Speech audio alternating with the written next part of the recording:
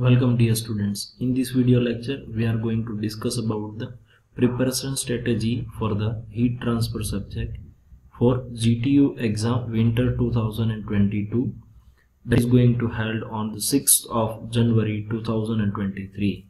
So let's start with the schedule of the exam. The exam schedule is of 6th January 2023. The time is 10:30 to 1 p.m. and that is of 70 marks now as we know that the syllabus is consist of five different chapters. The first unit is a conduction. In that uh, there is a three subtopics are given. The conduction heat transfer from the extended surfaces and the transient heat conductions. Then the second unit is a convection. Third unit is a radiation. And fourth one is a heat exchanger.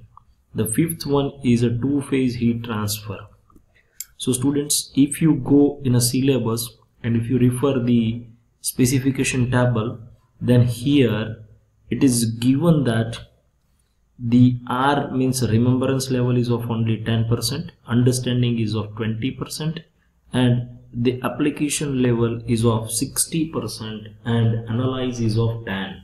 It means the question paper of the subjects are consist the more number of numerical than the average one.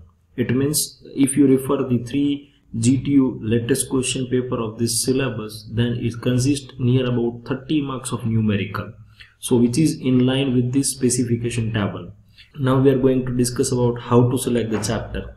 Here I have written the three different parameters basis on which you have to select the chapter.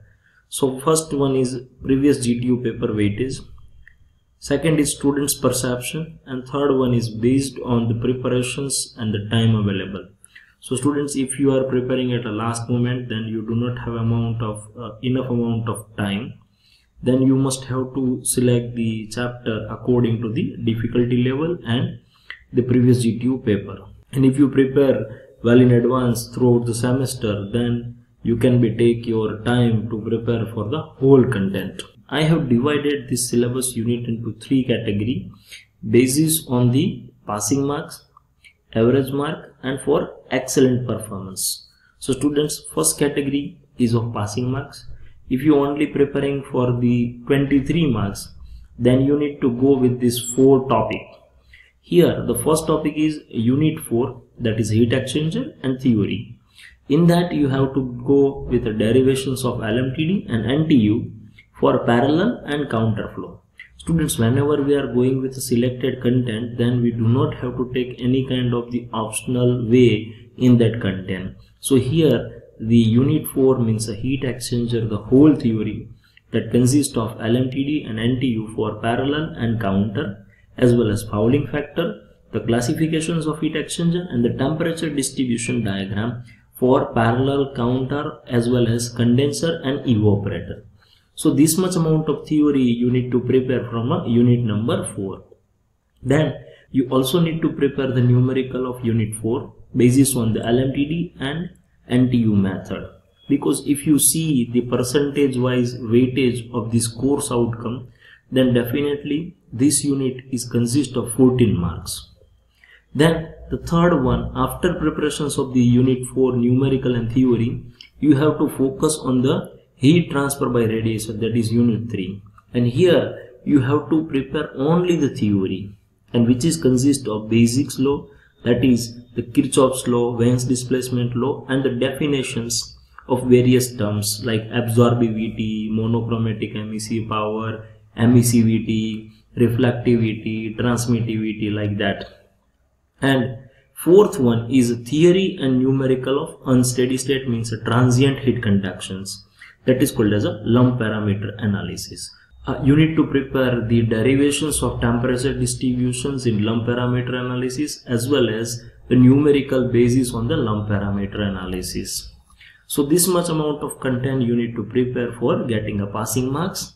Now if you are preparing for the average score then you need to additionally you have to prepare this content given in this slide the first one is a numerical of a heat transfer by radiation, means a basic law that you need to find out the lambda max, uh, power, monochromatic emissive power, and there is a heat exchange between the surfaces using the shape factor so these two type of numerical you need to prepare in if you preparing for average score.